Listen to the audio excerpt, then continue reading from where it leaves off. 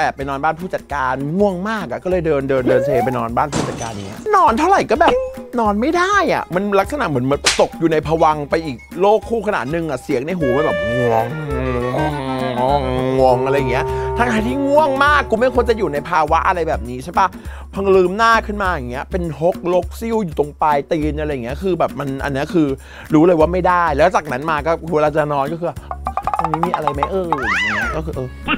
เออหัวไปหัวไปทางนี้ แต่ลำบากมากเลยนะ แต่ก็ต้องยอมอะไรเงี้ยบางทีพระอยู่ทางนี้ เทพอยู่ตรงนี้